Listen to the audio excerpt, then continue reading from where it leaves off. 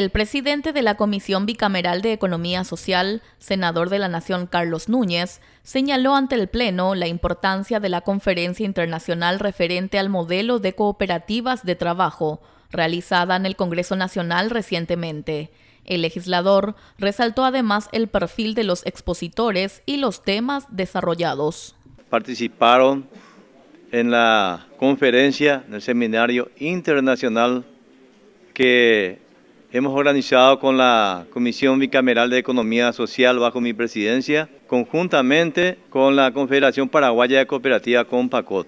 Tuvimos expositores de tres países de América, participaron más de 250 personas sobre la creación de cooperativa de trabajo, fomentar la cooperativa de trabajo en el Paraguay. Un seminario sumamente interesante, participó la presidenta de la ASI Internacional, la doctora Graciela Fernández nos honró con su presencia, quien dio una clase magistral también.